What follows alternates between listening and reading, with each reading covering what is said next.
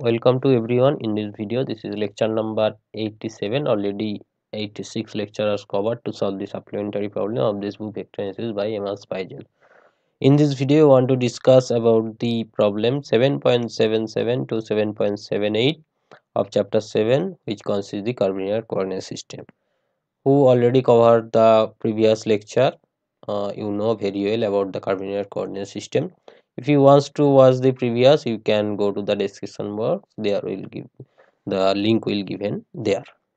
So let's start with question number 7.77 here says that so that the under suitable condition this will integration will be that where the transformation given here this x plus y equals to t and x equals to v right? So if you transform this so you can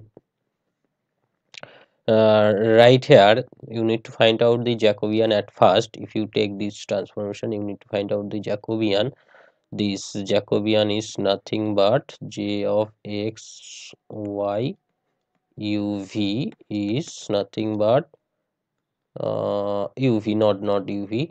You actually here you can see this f of x change into f of u. So x is x is u. This is not v. This is this will be u. Correct and y is t minus u. So y is t minus u. So y is t minus u. So x is u and y is t minus u. This will be the transformation right? From here you can see. So this will be vt not a ut this will be ut so this is del x del u del x del t and del y del u del y del t so if you wants to find del u del x will be 1 del x sorry del x del t will be 0 del y del u will be minus 1 and del y del t will be 1 so this will gives you 1 so dx dy must be equals to du dt. This will be equal. Now goes into the limit. For u for u you can see the for you. You can see the u will be changed from x to will be changed from x to t minus y t minus y. Now if you put the value 0 0 that is x0 y0 you will get 0 to t. So this is the limit of u 0 to t.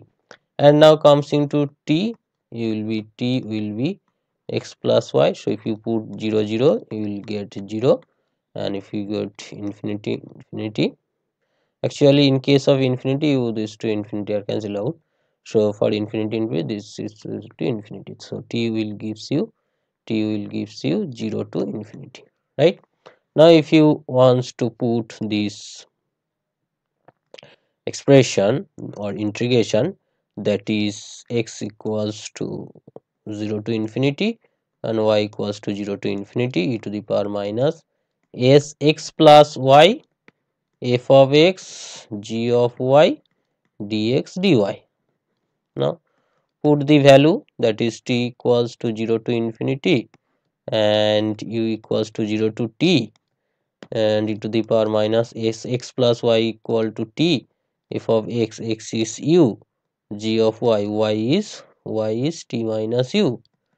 And du dx du is du dt okay so you can just come on as this.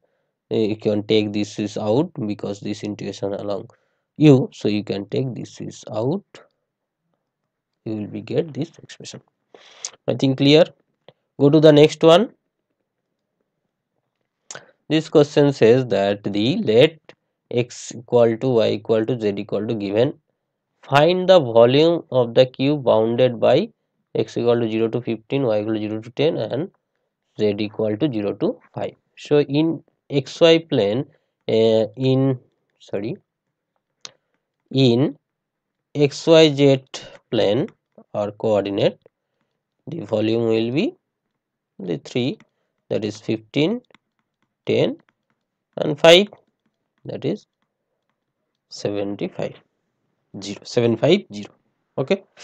Now comes into the other coordinate system in the u1 u2 u3 coordinate system you need to uh, change this coordinate. That is the x y z if we wants to write down in the matrix form that will be like that. 1 2 2 or 2 minus 1 minus 1 u1 u2 u3 so if you wants to find out the coordinate of u1 u2 u3 you need to inverse of this matrix. Inverse of this matrix you can calculate easily. The inverse of this matrix will be found find out like that.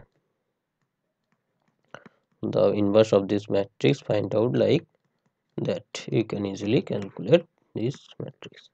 After getting this relation you can find easily the coordinate of the uh, cube easily you can coordinate of the cube and from that from the coordinate you can also find out the volume of the cube so in u1 u2 u3 plane volume will be volume will be 75 just multiply uh, using the coordinate you can also find. Otherwise you can um, go through this relation dx dy dz uh, will be equals to volume in this jacobian that is x y z by u1 comma u2 u3 into du1 du2 du3 right? Okay so we can just uh, need to find out this uh, jacobian. So for that that is j um, the jacobian we we need to find out this jacobian. This jacobian will be x y z and this is u1 u2 u3 right?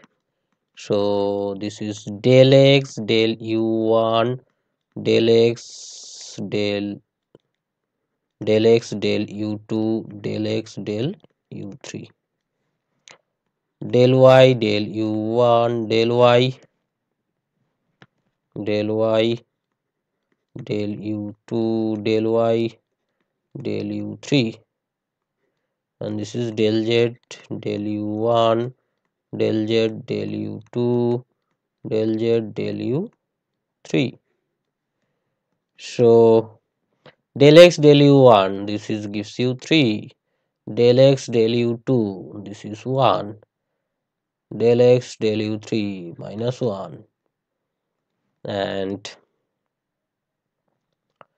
uh, del y del 1 no, 1 that is 2 that is 2 this is 2 minus 1 minus 1 if you calculate this determinant this will gives you 10 right?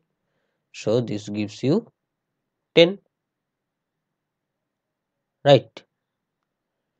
So the volume in this coordinate system will be this is this gives you 10 and you need to find out the limit. You need to find out the limit of this. So volume will be 10 into du1 du2 du3 and just put the limit of u1 u2 u3 variation of u1 u2 u3 you need to put the value of uh, limit of this three uh, limit of this three. The u1 if you if you find out by using this relation sorry by using this matrix if you put the xyz uh, i think you can remember uh, can understand my point that is the point. This will be changed from 0 to 15 0 to 10 and 0 to 5 so you will get the coordinate point all this and just put this multiply this matri matrix. With that point you will get in terms of u1 u2 u3 and from where you can just evaluate this integration. Just change the limit um, from minimum to maximum. That is for you. You can see here this is minimum is 0 maximum is 4 u2 will be like that. Uh, just you need to find out like that. This will gives you 75 next portion is says that the relate the ratio of this volume to jacobian of transformation and you can see here the jacobian the jacobian you will get 10 and this is nothing but the ratio of the area in xyz by in the u1 u2 u3 right? This is 750 and this is 75 clear? Uh, i think clear. If you there is any problem you must comment in the comment box. This is all about me. This is my contact details and this is my youtube channel. Is. So take care. We'll meet in the next video as soon as possible. Thank you